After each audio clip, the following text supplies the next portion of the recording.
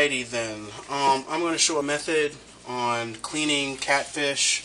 Um, these are bullhead. I got a couple of bullhead um, that I found on YouTube that I thought were pretty, pretty nifty, pretty slick, pretty quick and easy. Um, uh, catfish, bullhead have these barbels. That's where they taste um, and they sense things because they're bottom feeders.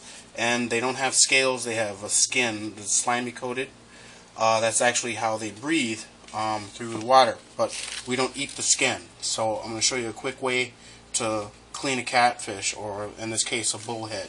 What you do is take a sharp knife, and you start from the back dorsal fin here, and you cut all the way down towards the main dorsal fin, and right behind it. And I'm cutting in at an angle, and I'm going to cut that and just get and just clip the spine just a little bit.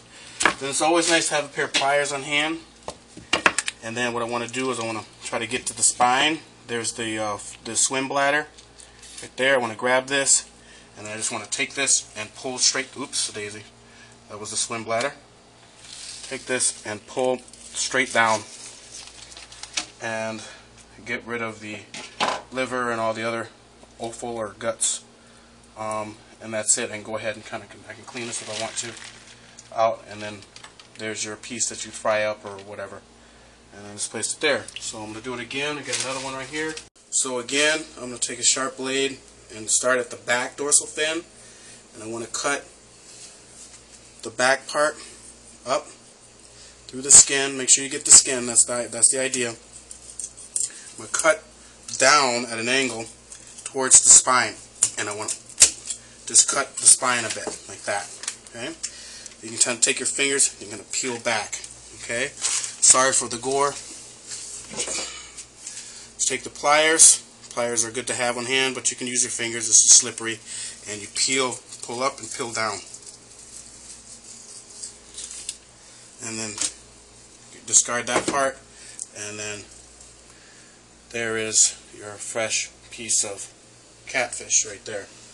Alright, I'm going to do it one last time. Grab this one here. Nice size one. Bullhead don't get too big at all. They don't get too big at all. So this is actually pretty decent size right now. They get they don't get any bigger than about five pounds. And this one looks like to me about a half a pound. So I want to cut the back of the skin. I want to get the skin out. I want to cut behind the main dorsal fin.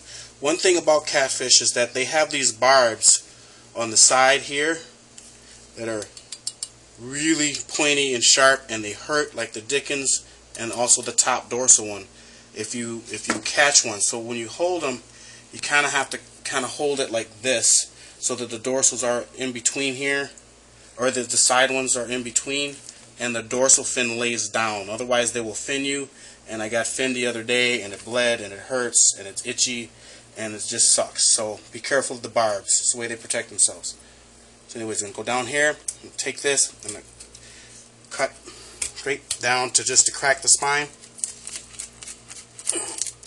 There we go. And then pry this up. There's the there's the spine down there. That's the swim bladder. That's what makes it float. Then I'm going to go ahead and grab a pair of pliers here. And I'm going to pull this up as I pull down. Sorry for the gore.